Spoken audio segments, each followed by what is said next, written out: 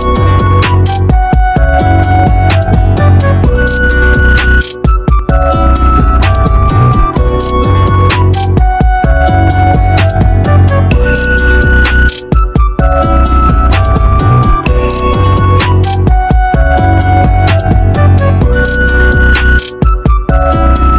disclaimer, I am not a doctor, nor have I ever claimed to be a doctor, but I did get trained and I did get hands-on experience with everything that I'm gonna tell you guys about. Happy New Year! I'm gonna say Happy New Year.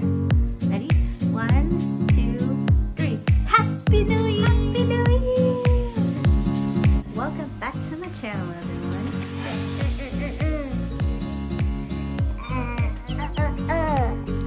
When Nathan first received the trach, he also received the G-tube at the same time. We were also dealing with his weight management.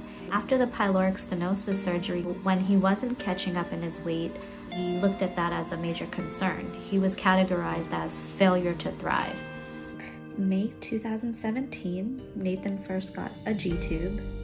June 2017, we continued going to follow-up appointments. July 2017, they weighed him incorrectly. They didn't make any changes to his nutrition plan.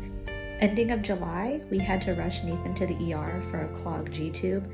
From that point on, we knew we had to find a different doctor, and weight gain is one of the most important pieces of a child's development. He was doing a lot better considering the last few months, and I kept him as healthy as I could because I didn't want to take steps back by getting him sick. We enjoyed a great holiday season from Halloween, my birthday in November, Thanksgiving, Christmas, and New Year's Eve. I was so relieved that I had some sort of normal life that could take Nathan anywhere with us. It was a weird experience taking Nathan in public places because I had to suction him with the machine and it made a lot of noise.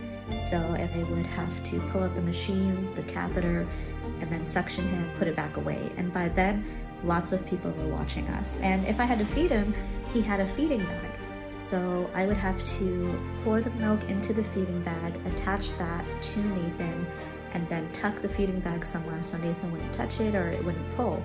And then I did gravity feeds. So I would have to take a 60 ml syringe and pour the milk through that and hold it up. When we had Nathan's second birthday, one of our friends allowed us to use his home and we went all out because for Nathan's first birthday, we had it very small.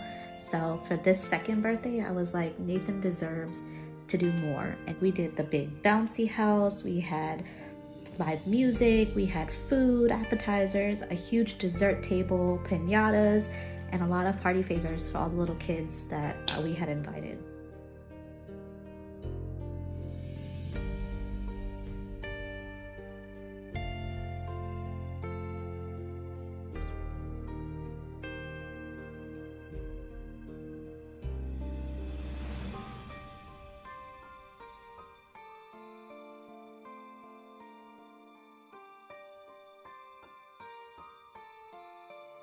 We still had to suction Nathan in between, and we didn't get to cut his cake because he fell asleep, but everyone at the party understood and we still made the best of it and we enjoyed it.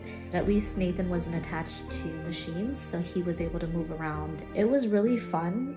I was feeling joy again to see Nathan go places.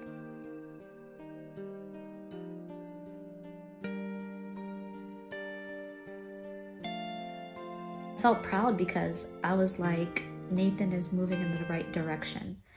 There's more to the story, so stay tuned to find out if we did find a new GI doctor and how we dealt with COVID. Thank you guys for watching. Until next time.